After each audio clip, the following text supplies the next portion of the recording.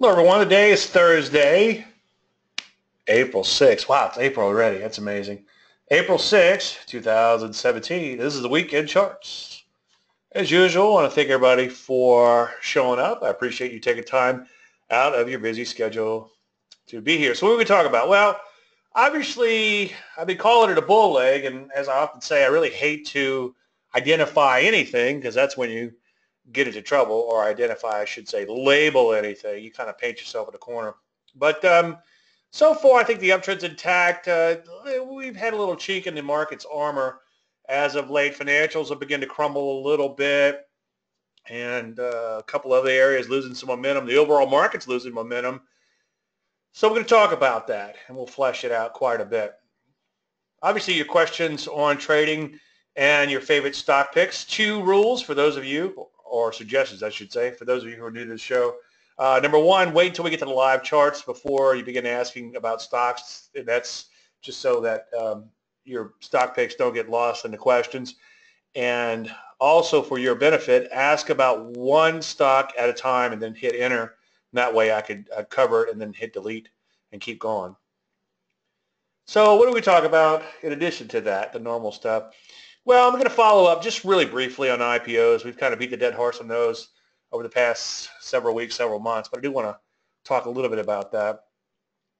Um, I want to continue to follow up on the methodology until, boy, you hate to say that, you hate to say until, but yeah, that's the reality of trading. Eventually, all trades end badly, but until all the trades from a recent portfolio stop out, we'll see how that turns out. And I think that's going to be kind of fun. I mean, so far it's been kind of fun. It's got me a little nervous here and there.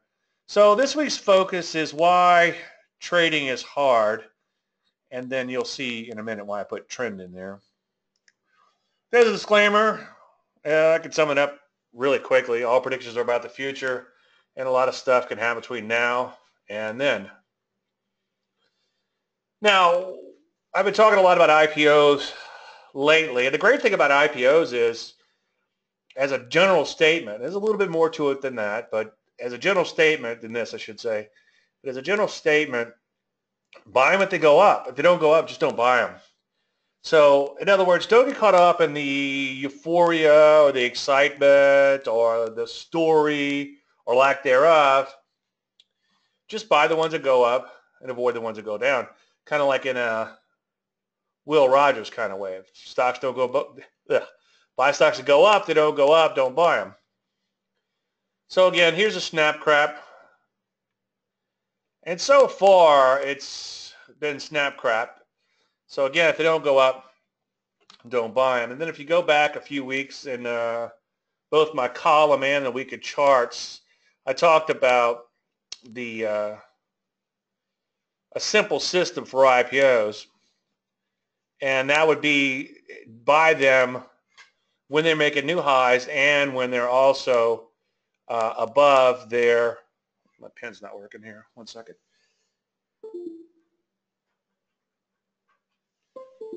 So by then, when they close at a new high with a few caveats in addition to when they are low is above their five-day moving average.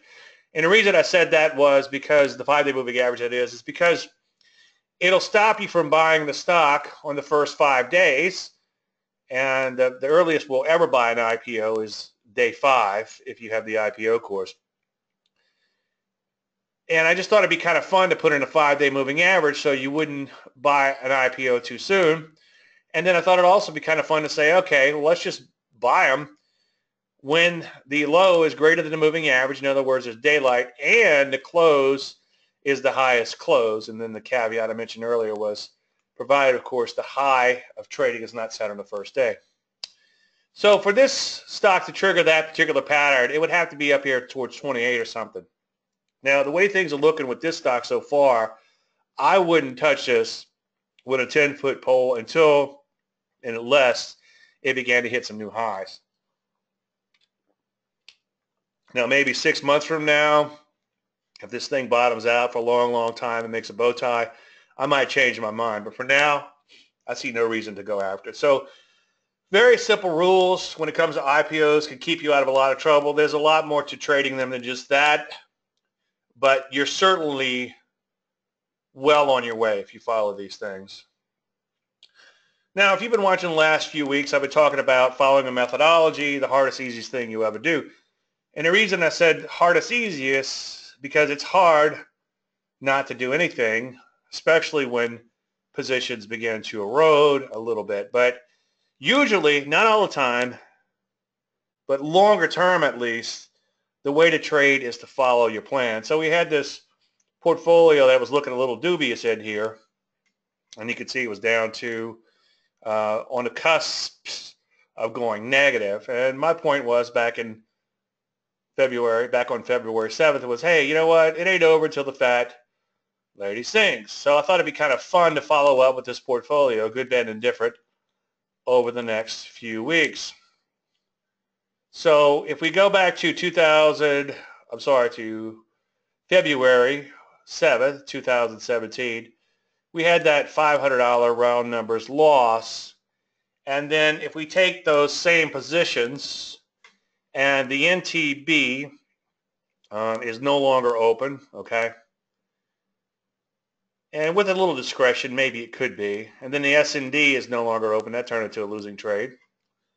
But the other ones still are. So if you mark to market everything, adding in that loser and that winner, and not adding any trades subsequently to 2000, why do I keep saying 2000? To February 7th, 2017, you can see that as of last night, the mark to market is a little bit over $4,000. So we went from a $500 gain to a 40 something hundred dollar, $4,200 gain. Okay. Not setting the world on fire, but you can see it's much better than just a small gain. And my hope, and I know I just said the word hope, but my hope for illustrative purposes is that a year from now, we're still having this conversation and this number is going to be tremendously bigger than this. It's about eight times bigger now, but hopefully it'll be 100 times bigger, and it'll make a good case for following the plan. Now, sometimes you lose money by following the plan, and that's the hard part, and that's where the psychology rears its ugly head. But for now, let's just say bye, Felicia, and we're going to keep following along with this um, example. Now, I went to bed thinking why trading is so hard. This is based on some interactions I've had over the past few weeks, and then longer term, it goes back to interactions I've had. Um, I said that word. Uh, that almost that almost came out kind of uh, Freudian slippage, didn't it? well, there goes my PG-13 rating. Oh well. Um, but it goes back to interactions that I've had over many, many, many years. And I think when when I wrote Layman's, I went back and I found that I had about 30,000 emails that I'd replied to. And it made me think about why trading is hard. And trading is hard. And then I also really thought about why trend trading is hard. Because trend trading is hard. In fact, as I'm going to touch upon right now, it's probably the hardest form of trading. And then I got to thinking this morning, it's like, well, this is a pretty lofty goal. And, and my original goal was to really get into the psychology of all this. And I think I'm just going to be able to touch upon that today. So I don't know if I'll resume this next week or the week after, but I think this could be part one of many, many parts. But let me see if I can give you a little thumbnail. Now, before we do that, let's touch upon something that seems much easier, okay? And here's the thing when it comes to markets. If you want a comfort, if you want comfort, you should go buy a comfort, is what I say. So-called income producing strategies will work quite often until they don't. I've got I got an email this morning from someone. Uh, make two to four percent every day. It's like, no, no. I mean, you know, I don't want to be a, a jerk, but if I could make two to four percent every day, can you imagine the compounding on that? Anybody have time to? Could somebody punch that? Anybody have a financial calculator? Punch in, just punch in two percent a day. good Lord, with compounding, you would own the world pretty quick. Unfortunately, it's not that easy. Now, these so-called income producing strategies, they actually can work quite well until they don't. And by income producing, you're going to have to do something like mean reversion. You're going to have to do something like selling options, or you're going to have to do a very, very short-term trading type of methodology where you're kind of scalping. Unfortunately, even if you're trading the very, very short term, something bad can still happen. The stock could get halted. Um, some bad news can come out. My Cajun just slipped out. So the point about that is you have to really know your methodology. And I know I pick on the reversion to the mean people quite a bit, but thank you, Phil. But the reality is it's such it's it's so blatant and it's so easy to identify the problem with it. And on top of that i get more former reversion to the mean type traders than any other methodologies combined they go do the reversion to the mean thing and then they come back to me and say hey dave I get it. And some of them have really studied extensively. I can't throw any, I don't want to throw anybody under the bus, but I'll say that some of them, let's just say, were very up close and personal with a lot of this reversion to the mean stuff. Okay. Now, Phil says that if you compounded 2% a day, I'm not sure what he's compounding, but he said that would come to 5,240% a year. If I could make, five, let's just say 5,000%. If I could make 5,000% a year, I think I would very quietly make 5,000% a year and just sit on my boat and do whatever, uh, as opposed to grinding it out day after day after day. Okay, so that's Phil's numbers based on 2%. Yeah, Donald, I think you might be a little off on that because it's compounded. So every day you compound that in. So that would mean if I was trading 100K, I'd make $2,000 today. And tomorrow, I'd make 102,000. No, I make uh, 2% times 102,000. So again, you really need to know your methodology. And I know I pick on the reversion to the mean people, but it's so blatant in that you're, you're eating like a bird and defecating like an elephant, the old commodity adage. So I do want to pick apart my own methodology so let's talk about my approach to markets, which is trend following. Before we do that, let's talk about trends. Um, Michael Covel is my Facebook friend, but I doubt very seriously that he would pick me up from the airport when my uh, when my youngest or oldest, I guess now, oldest daughter, when my oldest daughter first got into Facebook. she had all these friends, and then we had to like we kind of want to monitor what was going on, like who's this, who's that, and uh, you know, you find out really quickly she really didn't know these people that well, and she was younger now. I mean, obviously, when you get a little older, you don't worry so much about these things. You have to let them make their own decisions. But anyway, my whole thinking was, you know, who who in this list would not pick you up from the airport, you know, and that's a that's a quote real friend, but Michael Covel and I are Facebook friends. And it's funny. Obviously, he doesn't know who I am because uh, he he commented about something on his book, and I said, "Hey," because he showed the index, and I said, "Hey, you have any uh, you have any trend following morons in that?" And he, I think he got a little offended. I think he thought I was calling him a trend following moron or something. And anyway, if you go to my website, the, there's an article on the homepage that explains that that I submitted to uh, Proactive Trader anyway, I, I, like what what Michael Covel wrote. Michael Covel has written extensively about trend following.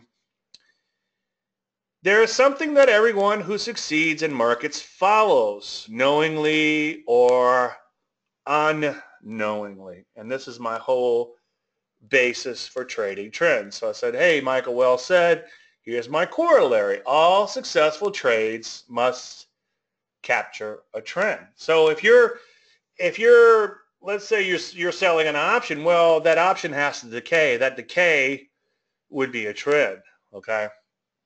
So if you're trading reversion to the mean, well that that a new trend better emerge soon. So this is why I'm a trend follower.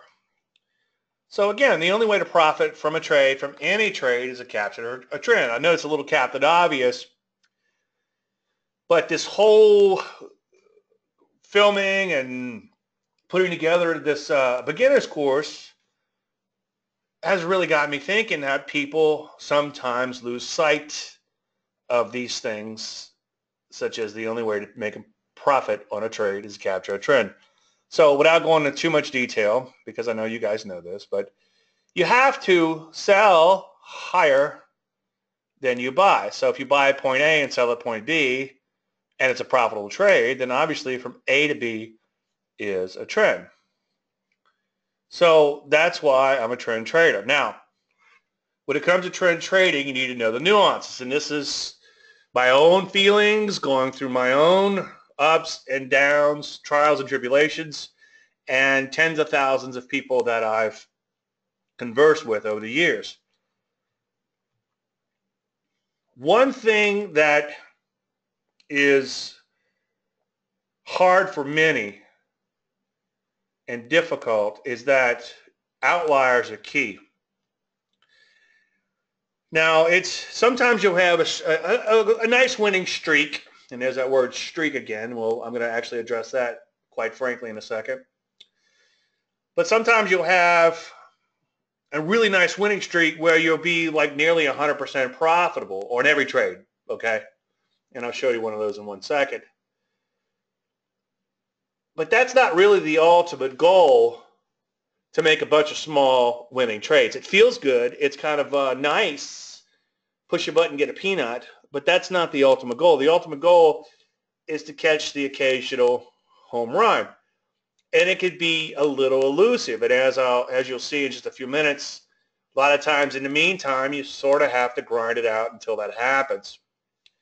Now, by outlier, I mean the nice big winning trade, which is important for your performance. Time and time again, people email me and say, Dave, I just, uh, I don't get this service. I can't make a dime. And I'm like, well, let's, let's take a look at things. Did you get this big winner? No, but I took those three stinkers that you recommended. Well, okay those three stinkers will obviously create a losing portfolio, but the one big winner can make all the difference in the world. Now, along the lines of outliers, I think that's what Mr. Seykota was talking about in the Whipsaw song. I've saw Ed up close and personal sing the Whipsaw song, as I think I mentioned before. He brought his banjo to uh, one the. he was our guest speaker at the American Association Professional Technical Analyst meeting. And he started off his little show by singing the whipsaw song. You get a whip and I get a saw, one good trend pays for them all. Well, if you put take trend and synonymous with the word trade, and or you could use the word outlier, and that's what he's talking about. So just as a current example, for instance, if you take a look at the open portfolio as of last night, I think it looks a little bit better today, which is praise the Lord, as uh, Madea would say. Hallelujah. Uh, where's my pen? Oh, there it is. It's hard to find today. Oh, I know what happened. I sped up my mouse, and I sped up my mouse to increase productivity. Now I can't find it. Anyway, uh, 2428 open portfolio. Now, if you look a little harder, you'll see that just this one open trade here, remember this is this is a closed swing trade, this is a closed swing trade. I keep the swing trade portion in the open portfolio just so you can see the entire trade being tracked. So let's say this uh, this trade would have scratched out, at least you can see that even though it scratched out, it would be a, a winning trade overall. But the point is, before I digress too far, is that 2428 open profits, okay? $2,581 of those open profits is just, just one trade. So you take out this one trade and this number goes negative, okay? And you take out also, I guess you take out the, the swing trade portion too. So now you subtract $3,500, round numbers, or $3,600 from this, and obviously you're at not an incredible loss, but you're at a loss, and mentally you're in a totally different position. Now, again, I'm just going to kind of touch upon some of these psychological aspects, but that's a really tough one. Missing that outlier is going to put you in a state of regret, and it's going to bum you out in following the methodology. And you're less likely to believe in the methodology if you're missing the outlier. Greg Morris used to use the word sharpshoot, sharpshoot signals. And that's the problem. You start sharpshooting signals, picking and choosing. As Murphy would have it, you're going to end up picking the losers and avoiding the winners. Now, one thing that you'll see quite a bit is you'll spend a lot of time grinding it out, and you're often treading water at best. And I've been thinking about this quite a bit lately, and that's actually okay. You might go six, eight months, maybe even a little bit longer, where you're just grinding it out and you're barely keeping your head above the water. But guess what? You're staying in the game. And as I'll touch upon in just a minute, you never know when that next big winner or winners are going to come along. So if you are trading this either through following me directly or grinding it out on your own, and you're like, geez, I just, I can't seem to get ahead. I make a little, lose a little, make a little, lose a little, make a little, lose a little. And I just keep chipping away at it, chipping away at it, but it seems like I'm spinning my wheels. I'm just treading water. Well, that's pretty normal in between trends. And as I often write about and have written extensively and talked extensively, is that patience is key. And it's very hard to be that patient, especially in today's microwave society. But you have to be very, very, very long game oriented. I have a few clients who have come in and I've told them to hang in there, hang in there, hang in there, hang in there and they've been gracious enough to hang in there for upwards, I'd say maybe in a year. And it's I know it's hard. And then all of a sudden things start working. And like, you know what, Dave? I get it now. I hung out. I see. I understand. Most people aren't that long game oriented, okay? And most people aren't that willing to be that patient. And what happens is they go off and they go grail hunting and these same people come back to me. It usually takes about 10 years. Okay. and they say, you know what, Dave, I've done the grail hunting. I now realize you just have to stick with one viable methodology longer term. But it's hard. And psychologically, we're really not made to, to stick with something long enough to reap the fruits of of your labor, especially something like trading, which could be quite intangible, as I'll touch upon in one second. There's an uncertainty there, okay? And the definition of insanity, and this is something I had to wrap my head around very early in trading, is doing the same thing over and over and over and over and over and expecting a different outcome. And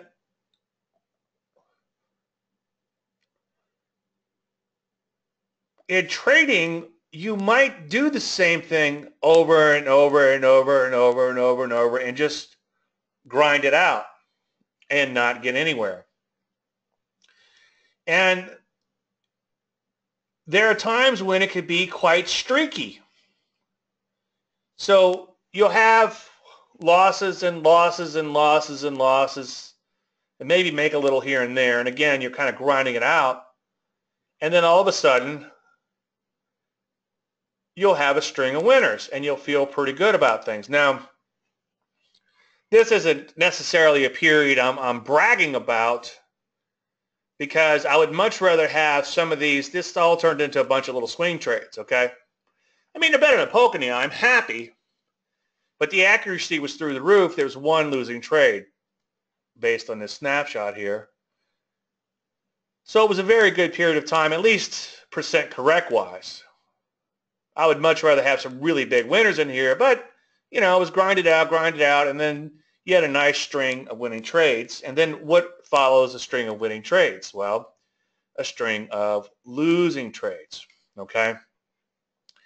Most people quit somewhere around here, okay? Or they start somewhere around here, then quit somewhere down here. So you have to hang tight, and this goes for any methodology, not just trend trading, but you have to take, you have to hang tight long enough to reap the fruits of your labor.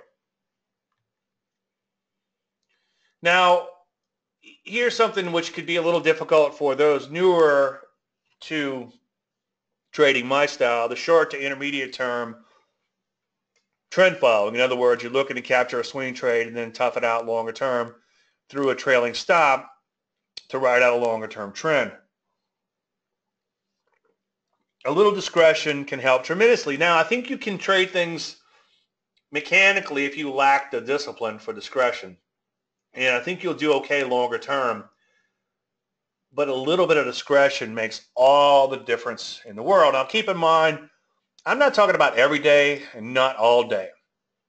As a general statement based on my experience over the last 10, 15 years or however long I've been doing the service, but it seems like a little discretion is only needed about once every three months. I might warn once every couple of weeks, hey, this could use a little discretion.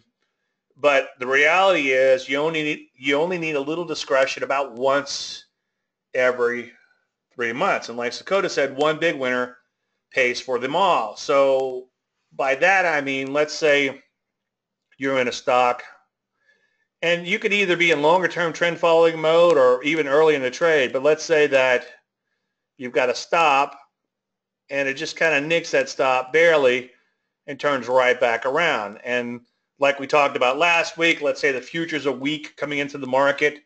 Let's say your stock looked like this, closed on its low, and your stop was like right here. So you know coming in this day that this stock could very likely and easily hit that stop, at least on the open.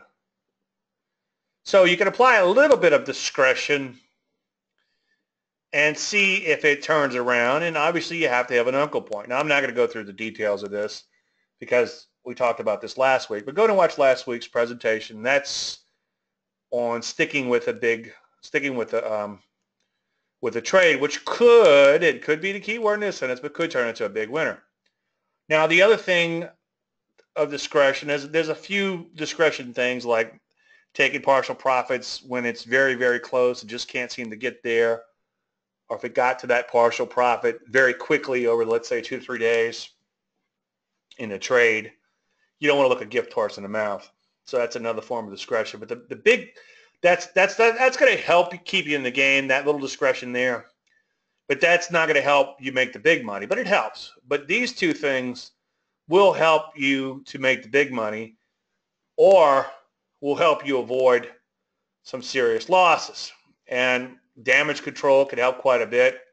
Somebody emailed me an extreme example of that where a stock gap like to right here and they says, well, I already got the loss. Let's just see what happens. I'll have an uncle point in mind. And then the stock turned around. The next day it gapped up like right here. Now that's an extreme example. That doesn't happen often. But every now and then you can mitigate quite a bit of losses through a damage control type of situation. So a little discretion does help, but psychologically this can be tough because everybody wants wants me and anyone else who has a methodology to explain it with some sort of certainty, and we'll talk about that in one second.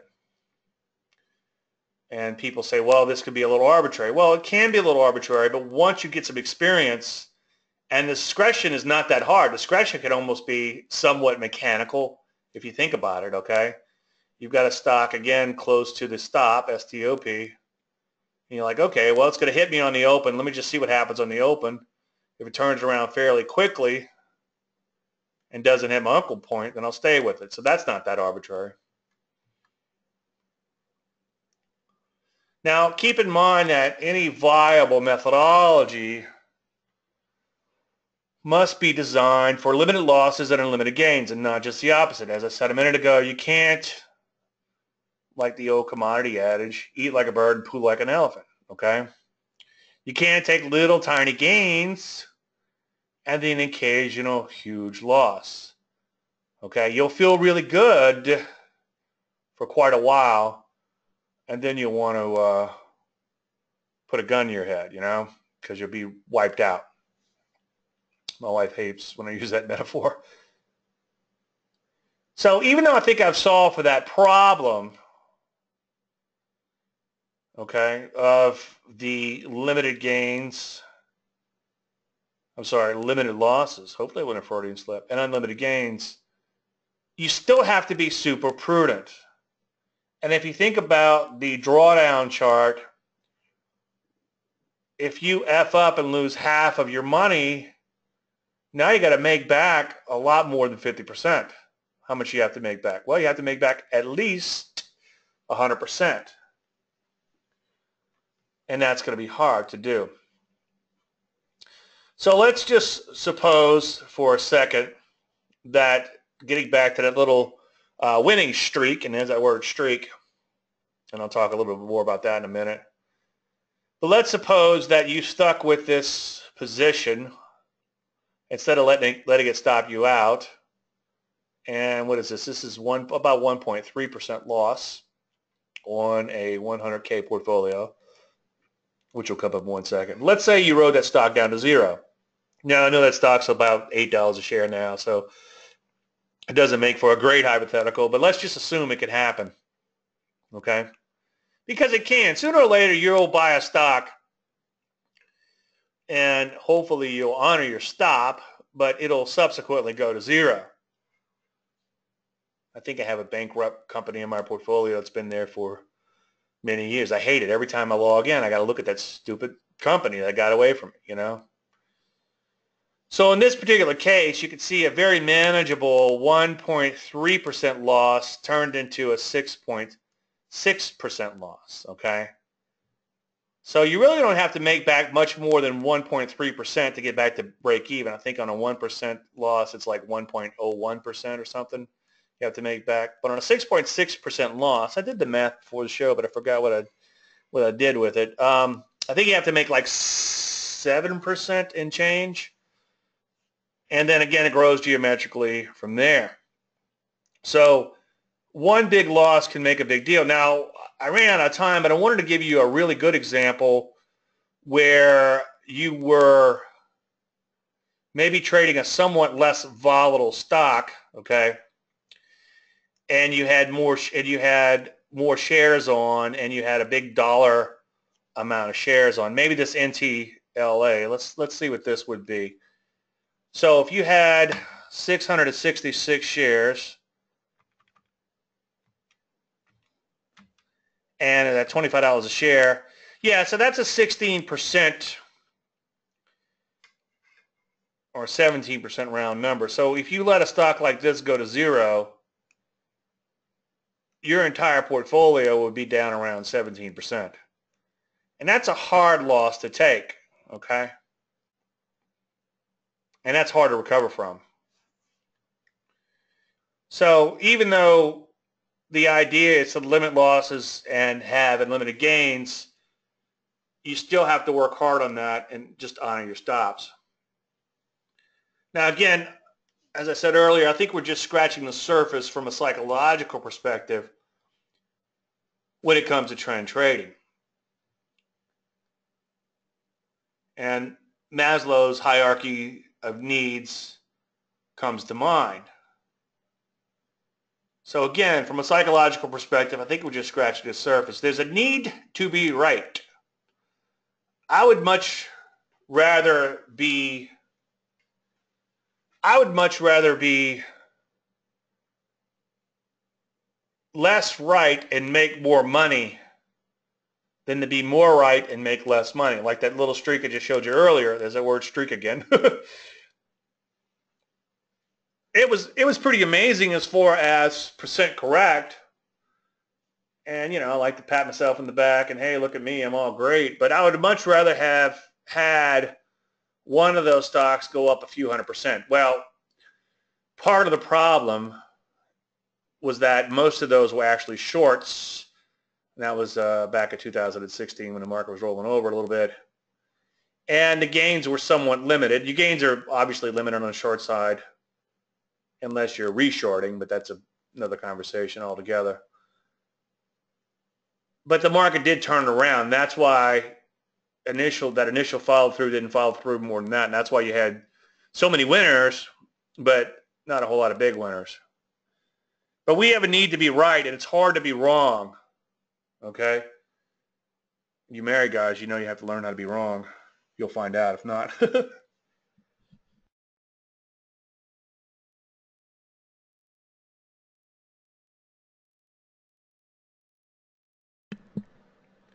we also have a need for action. Okay? I see Craig is chiming in with something here. Craig trains dogs. Well, if Craig sleeps in, goes have him a little latte, maybe a late lunch or something, a little brunch, lunch, whatever, and hangs around all day and doesn't go train dogs, what's going to happen? Well, he's not going to have any money. He's going to have to do something at some point in time. I know we have some doctors in here. You have to go out and see some patients. You have to take some sort of action. The more motivated you are, the harder trading can be because you have a need to take, action. Now this brings us back to those two forms of patience. The patience to wait for the next good setup and the patience to wait once you're in that setup. And then the patience to grind it out sometimes for months on end until you get to the big prize, until you get to that big, nice winning streak. There's a need for certainty. One of the most common emails I get, hey Dave, what can I expect to make? I have no idea. And if someone tells you that they do, then they're lying or they're delusional. Okay, I'll give them a pass. Maybe they're just crazy. Because if we get a period like 1999, I had no idea you could make a thousand percent or more. you know, but if the market grinds sideways over the next six months, unless we catch a few outliers, which occasionally we can do, but it's not easy. It's a lot of work. Then we're probably going to barely keep our head above the water. So there's no one who could tell you, excuse me, there's no one who could tell you what to expect, okay? There's no certainty in this. It's funny, Craig saying push a button, get a peanut. That's what I always, uh, that's, I'm always saying that. But yeah, there's no push a button, get a peanut when it comes to what will happen. I read somewhere, and I forget who said it, but they said if you're choosing a money manager, focus mostly on the character of the money manager, and I guess their philosophy would be somewhat important too, versus the returns. All predictions are about the future, and a lot of stuff can happen between now and then. And in fact, if something was working incredibly well, it's probably due to stop working for a while. So you have to be careful with that. And, and that's where, that's how Bernie Madoff finally got caught. Somebody who understood how markets work,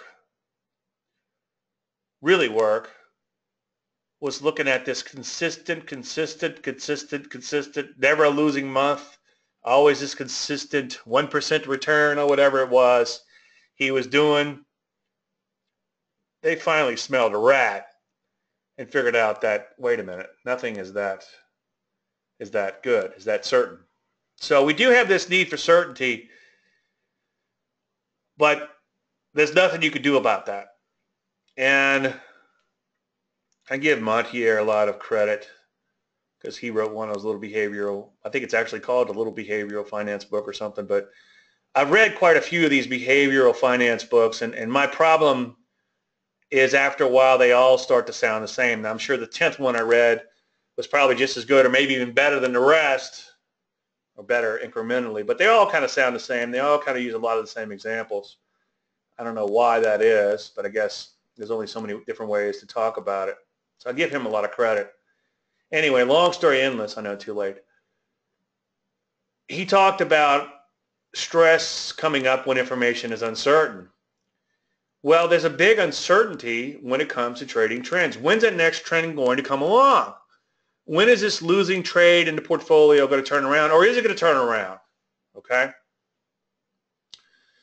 And the more uncertain you are about something, the more stress you will have. Now, the push a button, get a peanut thing, you feel like, oh, this is great. I just, okay, so I just, I just sell the option and then I collect my money.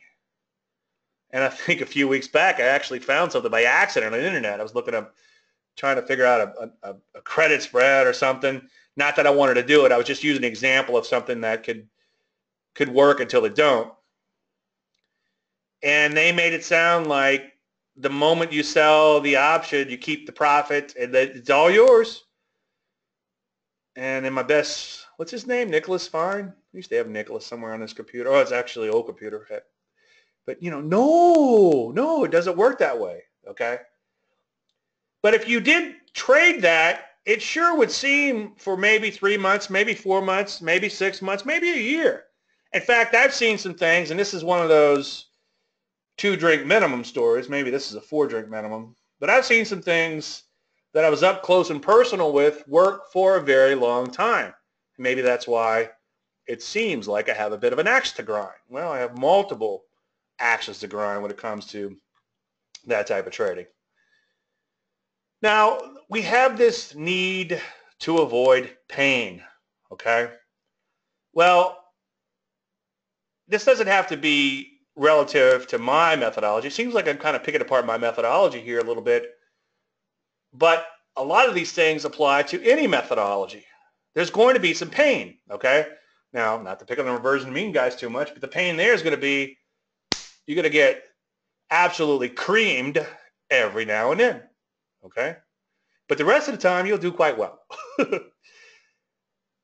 but if you're trying to grind it out as a trend follower, whether you're trend following like me or some other type of trend following, you're going to have some losses along the way. In fact, we get paid to put capital into harm's way. And that's the only way you'll ever make any money is if you're willing to risk some money, okay? But we have a need to avoid pain. Now, I could probably put a hundred of, of these things in here if I sat around and thought about them for a little while. I just want to kind of throw a few things at you today. But we also have this need for this positive feedback loop, okay? And I guess that kind of goes along the, the lines of the need to be right but where where I was going with this is more like a wait a minute.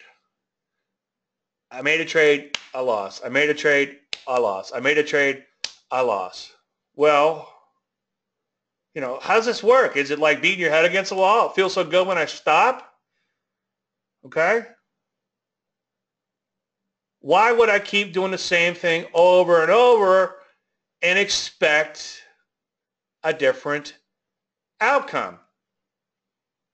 I somebody asked me uh, this morning, do I trade anything other other than what I show in these webinars and on my stock service?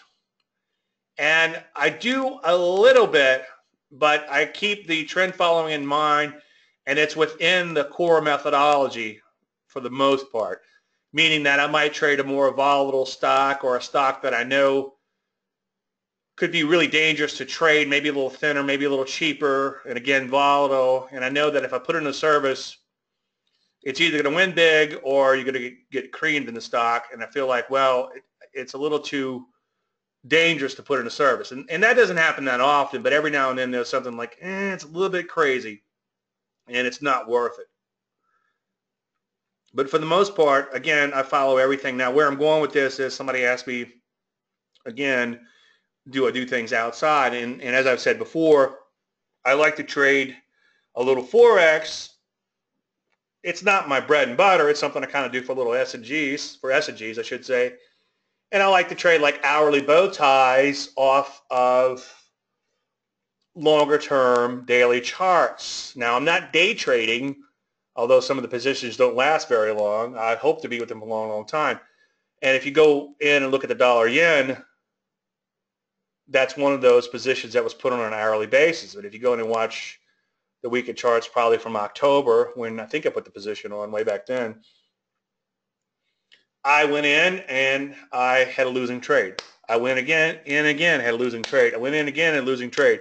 And it wasn't until the third or the fourth time that I caught this huge trend in the dollar yen. And I remember on that third trade or that fourth trade, I began to question my own sanity on that. But I knew that if I kept plugging away at it, I would eventually catch a really nice trend. Now you can't get egotistical and just do crazy stuff, but getting back to like the core methodology, if you're chipping away at it and you're like, hey, I got a really great setup, I'm going to take it, got stopped out, no problem, market still trending, sector, sector still, uh, yeah, market still trending, sector still trending, the stocks within the sector are still trending, I think I'm going to take this next setup. And you keep doing that, especially if the market's trending. If the market's going sideways, chopping around, obviously a little bit different story, but you still have to chip away at it. And be prepared to go through that drawdown. And as I often say, or used to say at least, you get that African queen syndrome where you just give up. And then if you had just gone that little bit further, you would have hit the big prize. You would have hit that big string of winners or at least that big outlier maybe that would have made your year. And the reason I say African Queen Syndrome was they were in the African Queen, and it's a good movie. You might want to watch it if you haven't watched it before. I actually went down and visited the, the boat so I can get a picture of it for my column. And I go to no extent and expense for you guys, or a lot of extent and a lot of expense. Anyway, long story endless, too late, I know. They almost made it to the lake, okay? And then the camera pans back. They'd given up, defeated, deflated. And they were like within yards. What's the, um, anybody, I haven't read the book or, uh, but I've heard the story before. 100 feet from gold or 10 feet from gold or I forget the exact, the exact book or story or whatever. But there was someone who thought they there was a potential for this gold vein and they bought all this equipment and they dug and dug and dug and dug and dug and dug and dug on their lease or whatever you call it, wherever you dig gold. And they gave up. So they sold all the equipment for pennies on the on the dollar and then the new people came in and, and I don't know if it took them a day or so, but 10 feet. They were 10 feet away from the largest gold find, I guess, at least at the time, a big vein of gold. Now, again, this kind of brings us back to talking talking out of both sides of my mouth with the definition of insanity. Like, how long are you to keep doing that? Well, if you wrap your head around the methodology, it could take possibly a year to catch a really large move and catch a really good streak, and there's that word again, streak, uh, or at least a few big outliers. It could take quite a while. So you really have to chip away at it for a long time and you have to be long game oriented. All right. All right, let's see. You got some questions coming in. Let me get these questions before I change subjects. Okay, Rick says, that portfolio looked great considering the Dow Jones Industrial Average from November 2015 to May was a W formation. You shorted the way down with the market, then you bought it the way up. Perfect trend following yeah, you know, and you, you can't get too caught up in the big picture things. Um, I really thought the market was rolling over. Was it last summer or summer before? I actually got slightly bearish, but I knew that I could be right, but early. And I'm willing to pick myself up, dust myself off, and start all over again. When we went into those those heavy shorts back in late 2015, now that's what it was, late uh, late summer 2015 to the fall, I really thought the market was rolling over. And then we put on uh, quite a few shorts. And like I told everybody, it's like, hey, you know, Worst case scenario, we get stopped out of them all, and the market goes straight up, and we start buying stocks again. And that's what we did. Fortunately, we caught a little bit of a move down, which was nice. Craig says the big problem is pushing a button get a peanut because those short the short-term reinforces are almost impossible to minimize. It's hardwired as hunter-gatherers.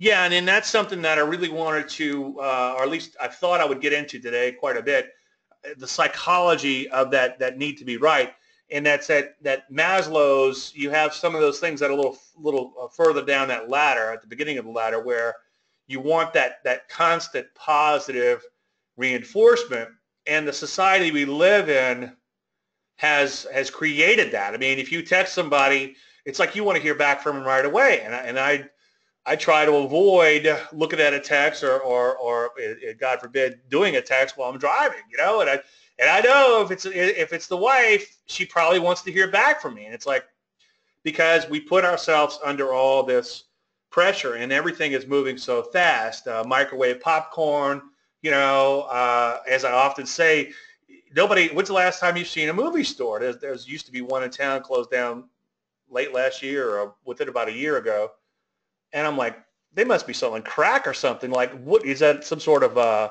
is that some sort of front for something? You know, how they stayed in business? Because who who goes buy a movie anymore? You just download them or whatever. You buy them online. I mean, you might you might you might stop by a Redbox every now and then if something catches your eye, but for the most part, you're not going to go out and get a movie. You know, uh, it's just the society we live in has made it worse. what need does that meet the outside of the service? Well, okay. Now you you keep keep in mind, like if I'm taking a trade outside of the service, like a while back I mentioned one, I forget which one it was, Quick I think or something, which was a thinner volatile stock that that set up is a beautiful pullback, but it was a little too risky to put in the service. And then somebody asked about the um, that stock in a webinar, and one of my clients was like, "Why didn't you show us?" I was like, "Well, I think it might have been on the Landry list." but I couldn't make it an official recommendation just because it just was a little bit too thin, a little too volatile, whatever the case was. I'm not trading that stock to solve my need for action. I'm trading that stock because I like the setup and I've seen the pattern a thousand times and I think that it has potential, but I also think it has tremendous risk and it's probably not worth risking that when you're trying to have a fairly controlled and hopefully consistent, is a word hope, portfolio. Now, I'm not day trading the Forex. I'm making little quotes in the air like you can see me. I'm not day trading the Forex. I am position trading, and I don't even remember when the positions that I have on were put on. I think they were put on back in October because I know I had on had some when I, I spoke in October and then I spoke back in November. Both happened to be at Vegas, and I remember both times I had positions on and I don't think I put on any new positions since. So it's not like I'm trying to to get that need for action. I keep myself stupid busy. I'm in here probably 12 hours a day and then maybe an extra hour or so at night on occasion on my laptop or whatever. And, and I mean, I don't know how long I can keep it up, but, uh, you know, I've been grinding it out for a long time. But I keep myself that busy so I'm not making those trades it's it's I've reached the point where the trades actually are taken away from from my projects and stuff. I have to take time out of the project to put the trades on to manage the trades. Now, that's actually a good thing because I'm not spending time staring at a screen all day long. Now, I still do that a little bit and a little bit more than I should, but for the most part, I keep myself so busy I don't have time to sit there and watch the screen, nor what I want to. So again, I'm not doing the Forex for action, even though the positions are based on an hourly chart. The reason they're based on an hourly chart is because Forex is much more efficient. And I think that you have to, to drill down to a lower time frame within a bigger time frame to capture some sort of inefficient move in an efficient market. Um, I don't want to get too sidetracked on that because I'm going a little long today. Imagine that.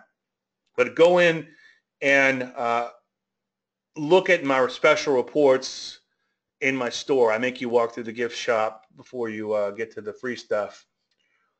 But I talked about inefficiency in one of those special reports on that, okay? Leon says, once you accept that it's impossible to predict the market direction, then it all begins to make sense. Amen. Amen, brother Leon. I like that. I like that a lot. Yeah, and it's hard, man. You got it's hard to check your ego at the door. I mean, that was my big problem early on when I first started putting out public commentary. I started chasing my own tail because I wanted to look smart and I wanted to look right and I wanted to predict the market every day. And, and then finally I realized that I was chasing my own tail. I was going to kill myself trying to do that. So you just have to let it go. And I think I picked this up from Greg Morris, but you know, sometimes, and this is this is where I keep coming back to that that beginner course, is that sometimes it's not these big revelations like some sort of uh, new setup or indicator or pattern or something that like is is an epiphany. Sometimes it's it's common sense, and that's why I'm so excited about this course because there's so many things that I think the course solves for. And then one of the things I picked up, like I said, from Greg Morris was that in order to to follow a trend, you must first have a trend to follow. And I knew that, but just hearing it from someone who's been around a lot longer than me and who has accomplished accomplished an incredible great deal in their life, it makes a lot of sense. So yeah, once you start having these little simple epiphanies like you don't know what's going to happen next. I mean, that's something obviously I put in the course too. Like no one knows. The secret to the markets is no one knows exactly what a market will do. You know, not you, not me, and not the guy who screams on TV.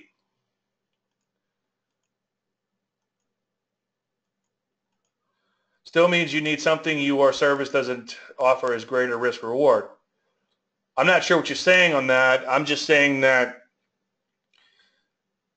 I, I kind of treat the, service somewhat like a money manager would would his portfolio that's under money management and the, the, the trades that are outside of the service are still within the methodology, okay, but they might be a little bit more riskier or, or, or, or could create an extreme amount of volatility in the portfolio. But trust me, if you look at the open portfolio right now, there's plenty of volatility in there, okay?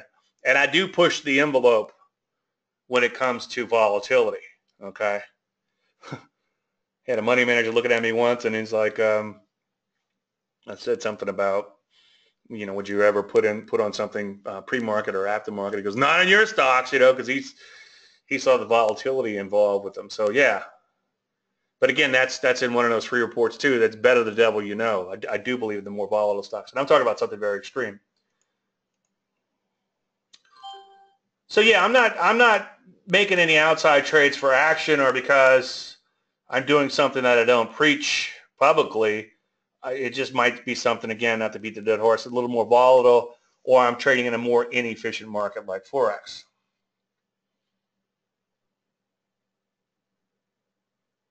Short-term reinforcers are almost impossible to minimize as hard-wired in us as hunters-gatherers. Well, that's interesting because, yeah, Craig actually brought it back to, I was talking about what Craig said in more modern times about push a button, get a peanut, and he actually backs it all the way back up to caveman times. And that's one of the reoccurring themes that I occasionally talk about when we get to talking about the amygdala and the physiological physiological physiological problems with trading, that flight of fight thing, which is great for caveman times, but not so much in modern day times. But yeah, it's interesting. It, it's it's funny you brought it back to that. I was talking to more modern day times, but it goes back all the way to hunters and gatherers. Okay, you have to walk past your favorite fishing hole to fish a hole you never fished before, but you know has a big lunker. It's the same thing we tell our kids about delayed gratification for the future. Yeah. Well, there's a lot of delayed gratification in trading. Um, one of the reoccurring theme lately, because I've been working on this course for last nearly, I think it's been nearly two years, is can you be successful with just the basics? And then somebody's helping me beta test the uh, the course that I'm working on. And he was kind of referring to the fact that a lot of things in the course I have covered uh, before, certainly touched upon before in the Week in Charts archives. And he said the trader psychology you go through and the money management you tie in is gold, something I definitely think people aren't spending much time taking to understand. And that's one of the things that I, I talked about early in the course, how the three are intertwined. And you see me probably do the, the three-corded speech or the three-stranded rope with the money management, the psychology, and the methodology. And if you get better at one, you get better at all.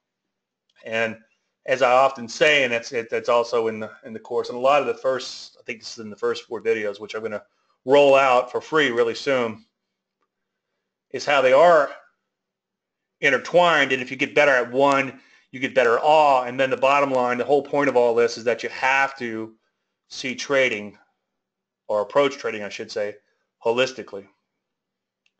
Your videos are awesome, though, and I think anyone could benefit from the intro course you put together if they actually followed it. And that's the one thing that I'm thinking about is that, you know, my wife was saying, like, none of your existing clients know an intro course. And I'm like, yeah, but you got to understand, there's so many problems that I see that are being made, like trying to make something happen in less than ideal conditions, maybe not honoring a stop, not taking a trade that they should take, and the list goes on and on and on. And if you just followed the basics, 95 to 99 percent of all these things can be eliminated. And then he went on to say, I personally have an issue, and this is one thing that I'm seeing over and over again, and this is what we talked about quite a bit last week. Um, gentleman by the name of Rick was saying that he saw the light not when he not when Big Dave gave him some little pattern that was fantastic that he just printed money with, but when I said you got to get your money management down, you've got to be selective.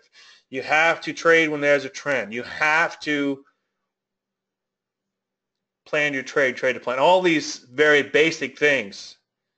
But again, I think 90 to 99%, maybe even more than 99%, of the problems can be fixed with just the basics. So he says he personally has an issue pulling the trigger on his stocks and he knows the system and he thinks he's picking pretty good stocks.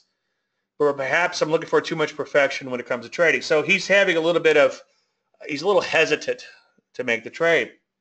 Well, my answer to that was drop your size down to only, to an almost meaningless amount and get the reps in. And that's something that I, I talked about further into the course when I got heavy to the psychology is that you have to get your reps in and then you have to be willing to pull that trigger. And then once you do, you have to be willing to see it to fruition. And the way you do that is to just do it and get the reps in. Now, it's much harder. Why, why can't he pull the trigger? Well, he can't pull the trigger because he knows if he pulls the trigger, he could be wrong. Okay? And that goes for you and me and the guy who screams on TV, yada, yada, yada but he knows he could be wrong. So the fact that he could be wrong is what's causing him to freeze. But what if he was trading at a size that was so small that if he were wrong, it would monetize into, let's say, a nice meal or a round of golf or what you would spend on a tank of gas for your boat or something, then all of a sudden it's not that big of a deal, okay? So you do it by doing it. And if you're having trouble doing it, then reduce your size to where that loss doesn't really bother you. And then it becomes second nature. I know it sounds kind of weird. I really have don't have a better way of explaining it, but I read some of these books about successful people and they kind of talk about the same thing. So maybe maybe I'm not crazy, but sometimes sometimes I make a trade like yesterday I had to scale out of some positions and I was tempted to just say I'm just going to hold on, hold on, hold on, to see if I could squeeze out, squeeze out. And they were going against me a little bit, but they were still profitable. But I knew I had to take the partial profits and follow the system. Otherwise, I'd be a hypocrite, of course. But it's like it's almost like an out of, out of body experience. And I went and sold those things down because I had to take those profits. Okay. And the same thing happens in taking a loss. I don't want to make it sound like I'm just taking profits. If I had to take a loss, take a loss. Not that I'm perfect, far from it. Okay. But it's like I find myself doing these things almost in kind of an out of body way to a point where I, have become detached to where I'm actually when I actually look at at what I have in my telechart as my portfolio, I'm like, am I still long that? Am I still short that? It's I have to think twice. Did I scale out of that or not? I actually kind of have to think about it a little bit because I find my execution can be somewhat automatic, if that makes any sense. And I'm somewhat detached. And I can hardly ever remember a stock once once I stop out of it. It, it, takes a while to get to that point, and that's something I didn't want to. I didn't want to kind of. I didn't want to get into today, but I was thinking about it before the show. Is that a few months back I talked about how uh, Curtis Faith seemed to be a little flippant in his trading early with the turtles or whatever, and you really do have to be flippant and just not care and just you go in, you make the trade, and when you're done, you're done. For instance, you know, I just said I was short the yen. Um, a few months from now, I probably won't remember that trade. Okay. In fact, I'll be quite frank with you. I was long to actually one still open. I can't I can't think of what it is. I mean, I could switch screens and find out. But there, I'm long something right now at a stop in forex. I can't remember what it is. And then I think I just stopped out at a euro NZD. I'm not positive, but I'm pretty sure that stopped out earlier this week. And I forget about it that quick. I used to never be like that. Okay. I used to pull it up, whatever it is, a stock or whatever, every 10 minutes after I got out. But you have to reach a point where you don't, you know, pardon my French, where you just don't give a shit. Okay. And then that's when all of a sudden things start to work. You're like, oh, wow. You know, look at my account. It, it, it's actually going high. And it's, wow, I, I didn't realize I was doing that well. Okay.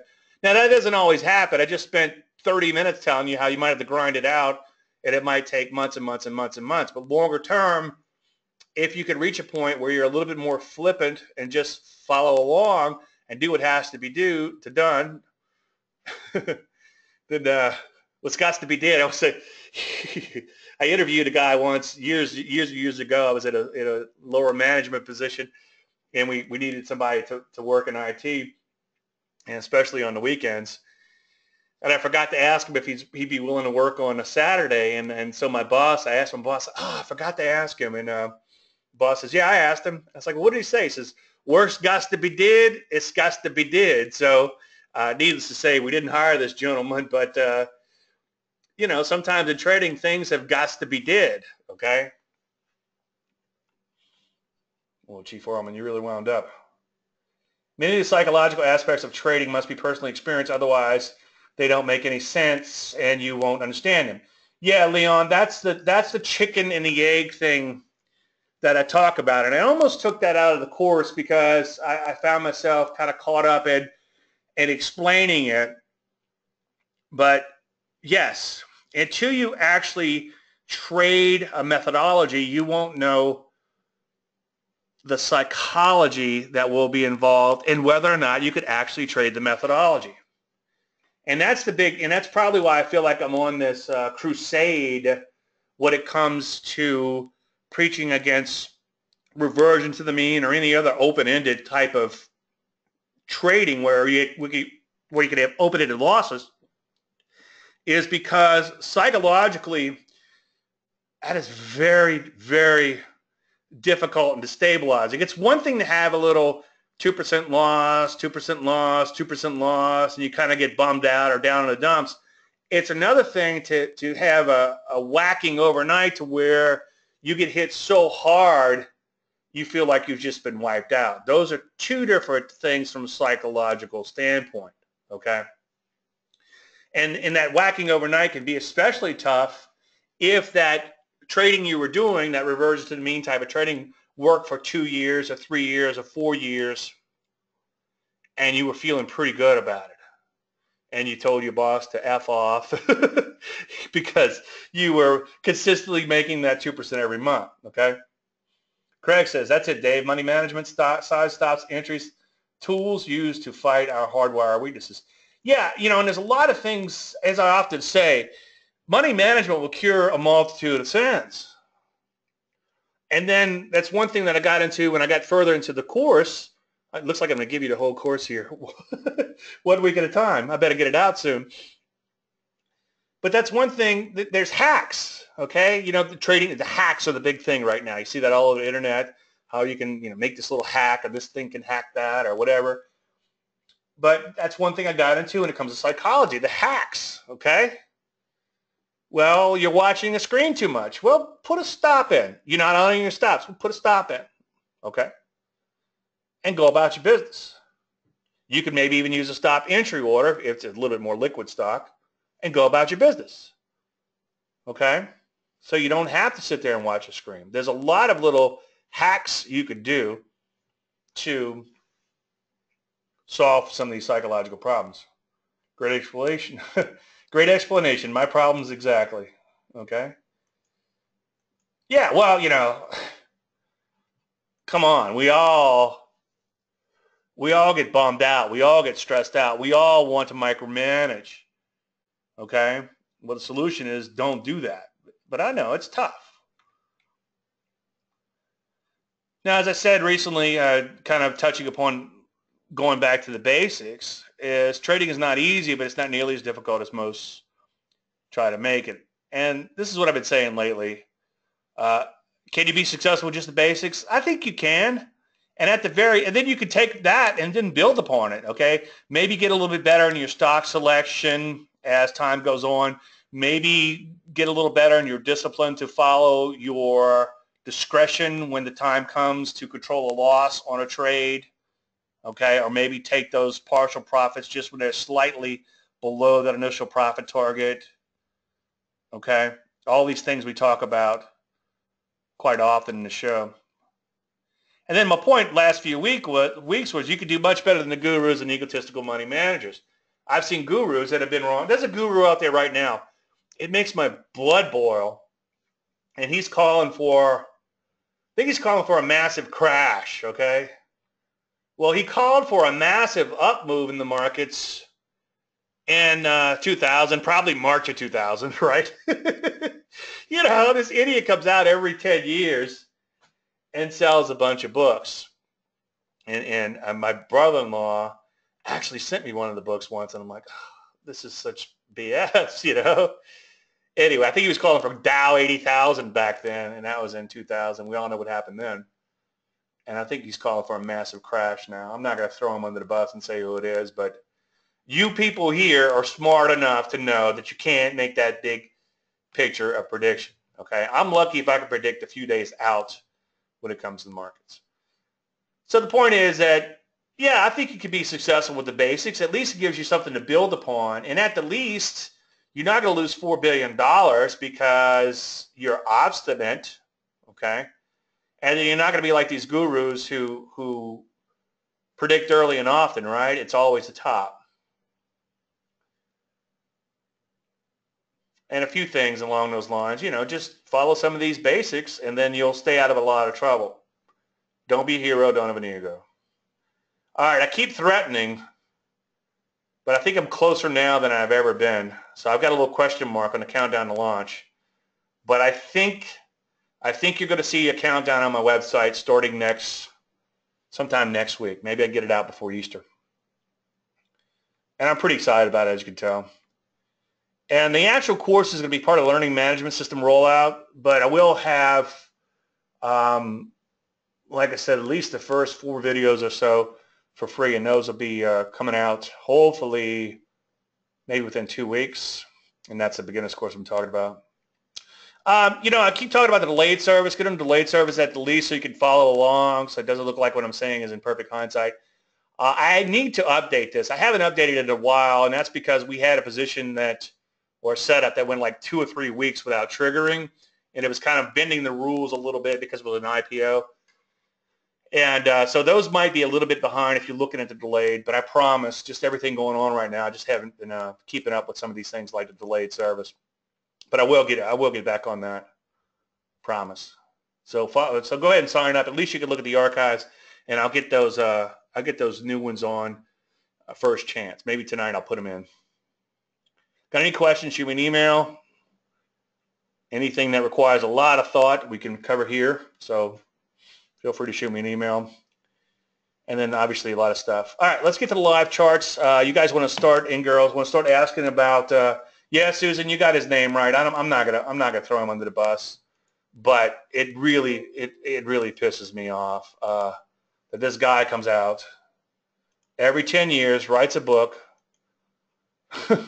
goes on book tours, and it's like you know, such bullshit. Oh, Chief Orman, you really wound up today. Yeah, Joe, you got it too.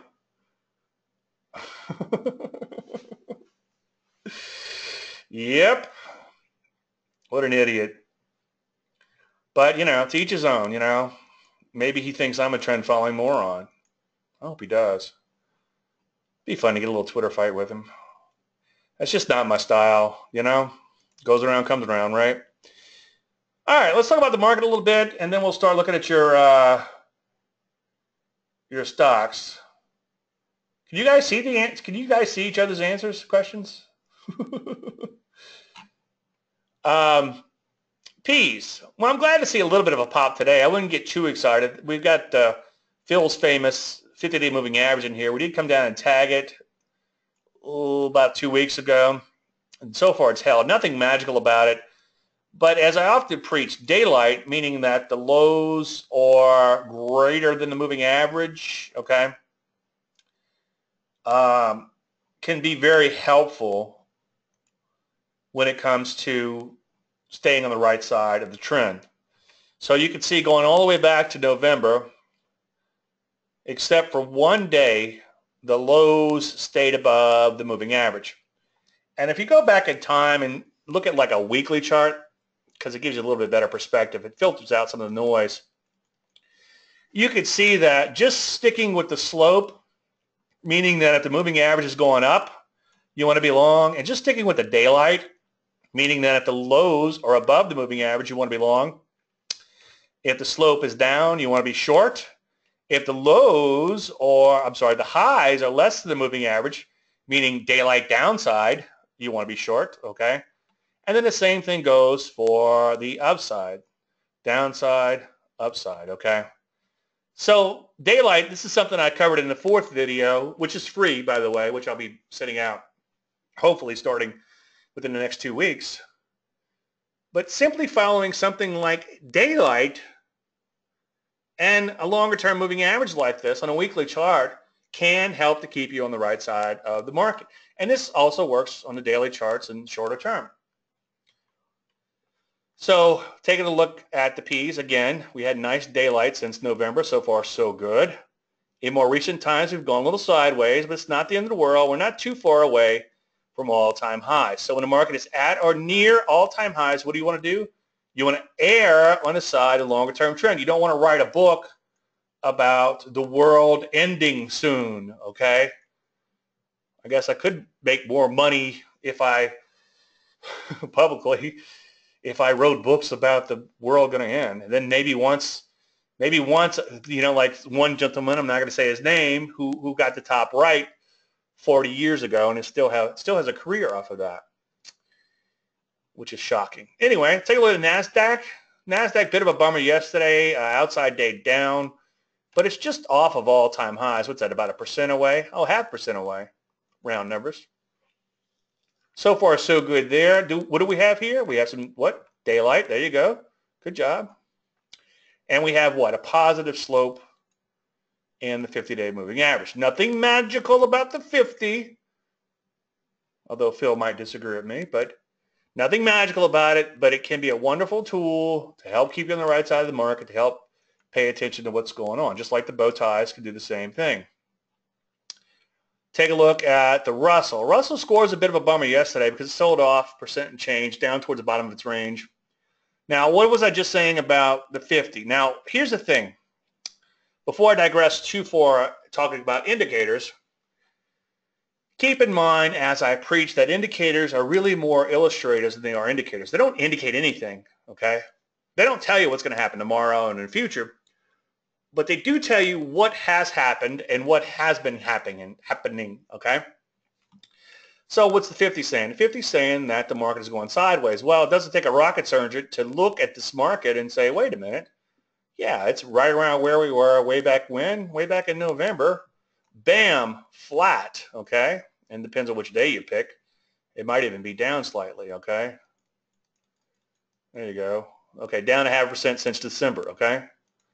So that is a sideways market.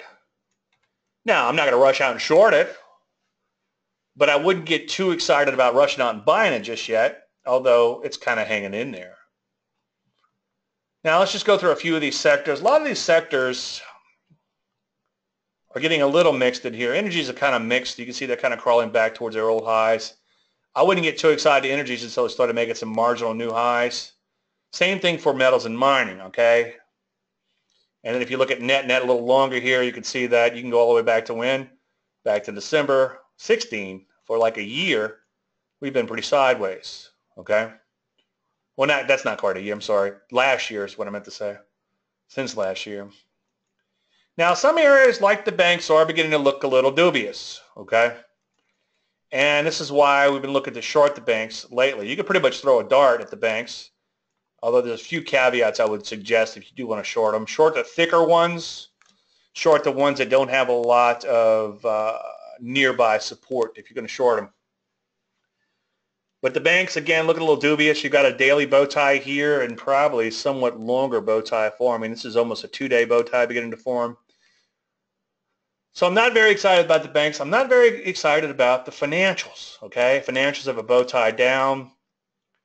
And if the financials take out the bottom of this range here, I would be concerned. We've got a lot of support down here, but that's a pretty far ways down based on the volatility of it. And percentage-wise, for an overall market, that's probably a pretty big move. Yeah, that's a 20% move lower. If the financials lose 20% of their value, it'd probably be fairly ugly. Now, the other thing that I'm seeing is some of these sectors, like, take a look at like the um, hardware and software, like the overall market, you could see that they've lost some steam as of late. Semiconductors, which have been doing really great, kind of sideways as of late too. So the bottom line is the market is losing steam. I'm cautiously optimistic, and I know it's kind of a couch and a stupid thing to say, but I am cautiously optimistic as long as that NASDAQ can hang around new highs, as long as the S&P can hang around new highs, as long as that Russell isn't too far away from all-time highs, even though it's kind of sideways and look a little dubious, I'm going to continue to err on the side of longer-term trend. Now, it doesn't mean that I'm not going to short individual sectors if I see an opportunity.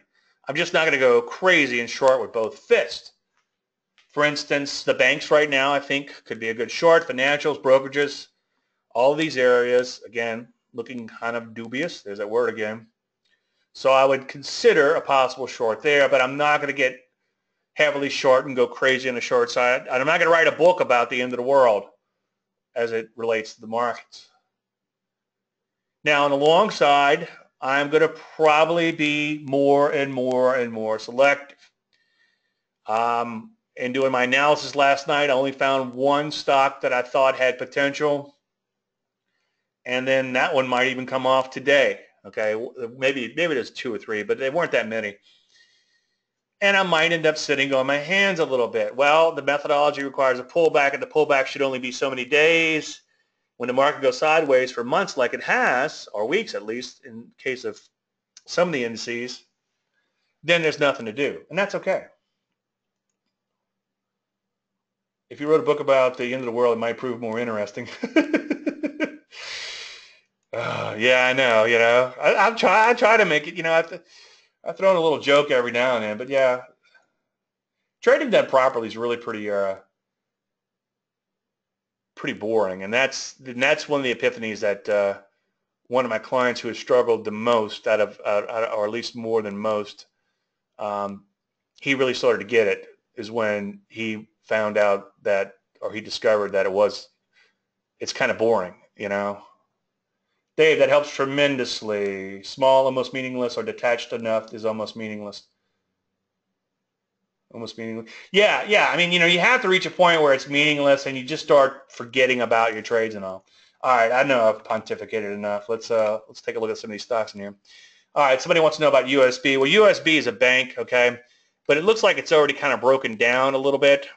Um, you know, without giving you my whole Landry list, take a look at some of these big banks in here. Uh, CMA comes to mind. There's a half a dozen more of them, or a dozen more of them, where it's just making these bow ties. Okay, if they begin to crack, they've got a long ways to go. Now, here's the good news. On the short side, usually I don't like to wait too long before a position triggers. So I would say if these things don't trigger over the next few days, we may have dodged a bullet when it comes to these uh, stocks, okay?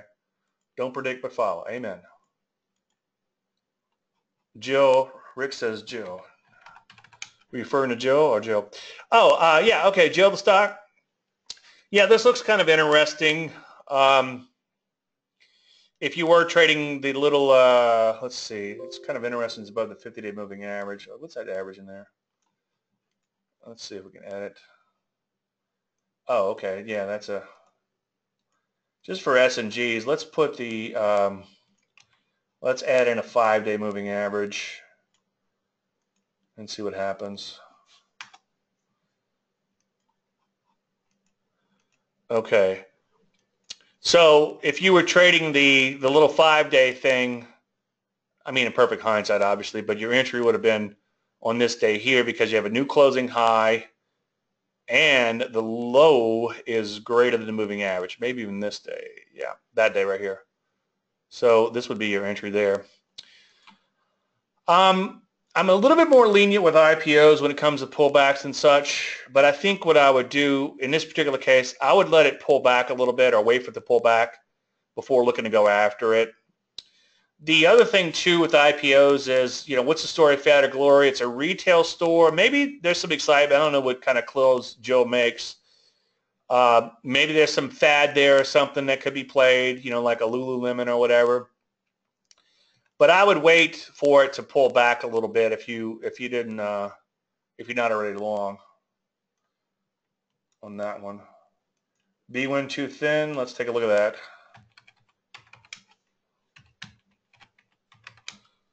that. Um, yeah, it's too thin. Probably too thin. I mean, as a private trader, you could probably trade it. I mean, it's 100,000 shares. It's $8 stock. I mean, it's not ridiculously thin, but it's a little thin. Um, you got some issues much, much longer term. I mean, it's okay. Um, it didn't quite pull back enough in here. It's okay. You know, put it on your watch list as a as a one. Chris wants to know about uh, FRSH. Good to see you. Yeah, um, definitely put that in your uh, watch list. My only problem is that, nope, take it out because you've got too much overhead supply to deal with, okay? And again, you know, getting back to the basics, sometimes these little basic things are all you need to know. So yeah, I wouldn't, I'd leave that one alone. FI for Donald. Uh, no, too much. Again, you've got, it's kind of an electrocardiogram, okay? I mean, I hear what you're saying because if you zoom this in, you probably have a bow tie. Yeah, you got a beautiful bow tie. It's kind of a perfect little setup. You got a gap, two gaps in the direction of the trend. The new trend, I should say. This looks fantastic. But then you got this big gap down. And when when you have a gap down of that size, it kind of puts the market into a bit of disequilibrium to where you now have a lot of people that are anxious to get out of the stock, okay? So anyone who's trapped in this range and didn't get out, or anyone who's still still long, is going to look to get out likely during this range. Now, there's no guarantees in the market, but that's what technical analysis is all about, is reading the psychology of the overall market. And my definition takes it one step further while embracing your own. CPLP. CPLP. Jill says no. Why are you so quick to say no? Maybe he's a nice guy. Uh, no, this is a shipper. I think you could do better in the shippers. Um, kind of sideways, longer term in here. We're long salt in the shippers, okay? And you can see that it's headed high. Oh, look at that. Bam, winning. nice little move today. Um, and then salt doesn't have any overhead until about 20. So I think we've got another, a good shot of going up to maybe 20, 30 bucks a share in this stock, hopefully. I just said hope. But when you got a stock that looks like this, put that on your watch list as opposed to something that looks like that, okay? And it's kind of stuck in a range. And again, you know, getting back to the basics, I don't want to beat you up too much because that's what some people say is I beat them up too much in these things. But sometimes just the basics, you know, look at the net net change you can see it's been somewhat sideways, and that'll keep you out of a lot of trouble. The word no was see questions because you see other comments. Oh, okay. Oh, that's funny. Well, I don't want to start matchmaking in here. I get in trouble fast. Susan says SBLK is a shipper. Yeah, in, in this case, you know, and I've been bullish on these shippers, and finally they're beginning to take off again. But, you know, look at something like SBLK as opposed to that other one. And these are what I call Phoenix stocks, okay? And there's not there's no pattern in and of itself other than now that you'd be playing pullbacks here, but uh, if you go back to something like uh, Salt, I think Salt was more of like a, a transitional type of pattern. But now they, there are going to be more pullbacks. But I still, I still think they have tremendous opportunities in these stocks because you take a look at this one here. If this thing returns to its old highs, it's up. I know I sound like the silver guys on TV. If silver just returns to half of its old highs, you'll make 60% on your money. But I do believe that with these Phoenix stocks, sometimes they can return to the old glory. And even if they only get halfway back there, you're still doing pretty good. Kind of like salt, you know. Uh, 125, you know, we're down here at 10. So this could maybe turn into a 12 bagger. Okay. We'll probably get stopped out long before it does. But if it does turn into a 12 bagger, then um, it's in that little open portfolio, and then I got a good lesson on following the plan. If it stops at a profit, then I still got a good little lesson, okay? So see, no matter what happens, I still look good. We've got three people want to talk about UCTT. Uh, one of you guys sent me a thank you note on this one, so I appreciate that. I don't have my email in front of me. Yeah, this looks fantastic. Uh, it could use a little bit more pullback, just maybe to like 14 and a half but it does look good. Somebody sent me an email saying that uh, they followed the basics and they stuck with the position, stuck with the position. So if you're in here, I forget who that was, but let me know. Fast, that's going to be an ETF. Um, I'm not a big fan of leveraged ETFs. not a huge fan of um, ETFs in general. Um, I mean, I hear you. I mean, I'm bearish on the financials. You've kind of got a bow tie here. But I think the ultimate system for leveraged ETFs, and, and I'm going to give you something here. This is free, okay? Free of charge. You ready? Short the short ETFs. Short the stuffing out of the leveraged short ETFs. Why do you say that, Dave? Well, take a look at this one. 300 to what? I think they'll all go to zero eventually. It's the way the math works because it keep you have to short you have to keep shorting at lower levels. Is that how it works? But these things all go to zero, okay? And then they have to reverse split them and such. Somebody just throw throw me out one. Somebody throw me out a reverse ETF while I'm pulling up the next stock and we'll take a look at it and we'll see what it's done. Rocks. Um, longer term, kind of wide and loose, kind of crazy. HV100. Uh, you know, maybe put on your watch list, but it's barely getting past this high. It had this huge gap in here. It went up how many hundreds of percent? 116% over a short period of time. A little crazy. So I think I'd pass on that one. SH is a short ETF. All right, there you go. There's there's your system right there. Okay, look. What do you do? What do you do? What did Big Dave say to do? Short the short ETFs. Okay, look at that. Looks like looks like I have a shill in here, huh? Show me that one. Ah, show me anyone. I don't care. TVIX? Ah, that's a VIX, but the TVIX will work. Short? They're short. So you can short a TVIX at $175,000. Where is it today? $30. That's quite the short there, huh? Okay, thank you, Phil. UCTT was on the Landry list, 12.516. Well, I appreciate that, Phil. Thanks for uh, noticing. All right, we have another short ETF. Everybody ready? Short, the short ETFs. Well, you would have gotten some, oh, no, it's Doug, sorry. D-U-G. All right. Well, you've gotten some trouble here and there, but from 100 down to 40. Okay. Dust is another one. Yeah, okay. All right. I think I made my point. Short to short ETFs went from 4,000 and now you're down to what? 28. Okay. Jim says, I have been long UCTT since 12-7-16 using my interpretation of your TKO. Oh, you're welcome, Jim. Awesome. SRS for Miss Karen. How you doing, Karen? Good to see you. Sorry I didn't have time to spend in New York. It was a crazy trip for me. Um, yeah, it's a short ETF. Oh, yeah, yeah, yeah. I think I've kind of, let's take a look at a weekly on this. Uh, let's take a look at monthly. Thank you for that one. Yep, look, short, the short ETFs, 10,000, and now it is at uh, 33. Yeah, I think I made the point. All right. Andre says, cool. Andre didn't, didn't hang out with you either.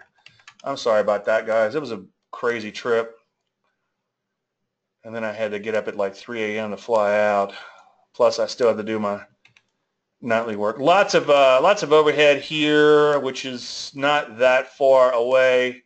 I think I would pass on this one. Um, I mean, I, I, hear you. It certainly looks like it could pop up as a swing trade, but just a little too volatile and too much overhead res resistance. DTO, yeah, that'll be the last one. I think we've beat the dead horse on that.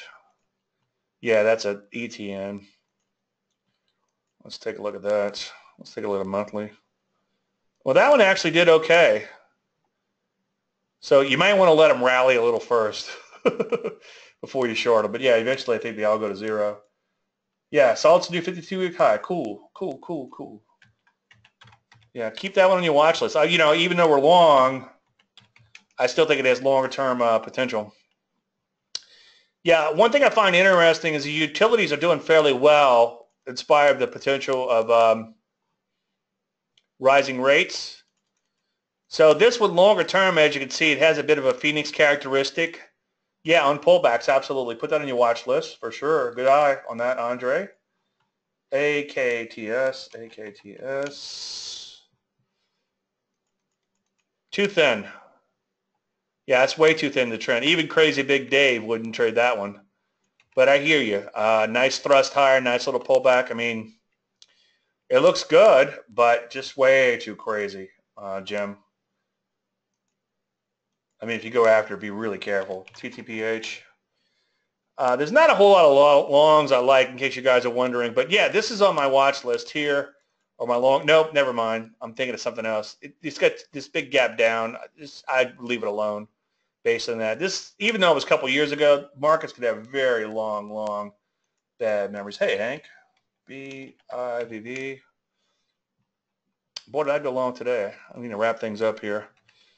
Um, it didn't really get too far past its prior peak in here, but IPOs do sometimes have a breakout characteristic.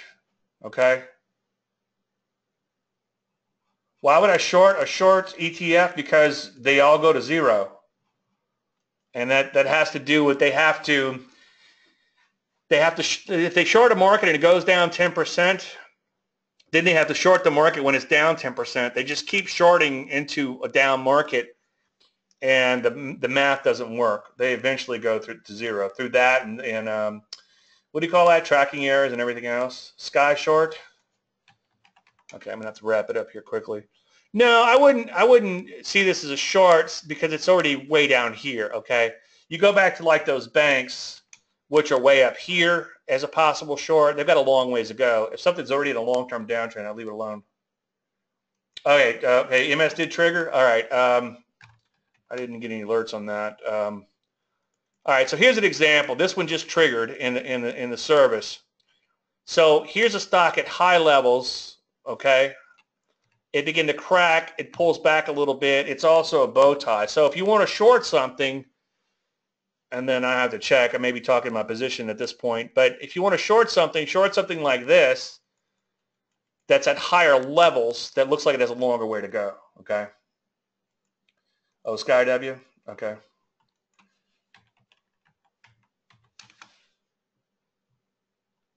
Yeah, uh, some of these airlines look they're you know on a pullback. Okay, there was another airline out there. Take a look at the airlines. There's a few airlines that look like they're in trouble. But yeah, I hear you, Chris. But yeah, that one's it would have to pull back a little bit. All right, let's do one more, and then we're gonna have to um, let's get to somebody that didn't uh, we hadn't got to. Uh, um, yeah, we did that one, and then all right, Jim. Let's take a look at CPRX for you. Did we talk about that one? Uh, a little bit on the thin side based on its price. I do hear you though, and it is kind of interesting. Um, I'd say it looks okay, but it's certainly a very uh, volatile and dangerous kind of stock, but it looks okay because you got a big thrust higher followed by a pullback, borderline kind of crazy, but I hear you. And I think that's, um, I think it looks pretty good. All right, I've gone way too long today. Um, sorry about went so long in the beginning. Just got all wound up. But anyway, I want to thank you guys. I know we have quite a few unanswered questions, but um, we'll get to them uh, hopefully next week or whenever. But you can shoot me an email on these uh, individual stocks. It might take me a while to get back to you, so it might not be that very uh, timely just because there's a lot going on right now. But as usual, I want to thank everybody for coming. I love doing these shows, as you can tell. Uh, any unanswered questions, again, shoot me an email. And uh, if it's an answer that requires a lot of thought, I'll just use it as fodder for next week's uh, show. Uh, if we don't talk between now and then, everyone have a fantastic weekend, and thank you guys and girls again for coming.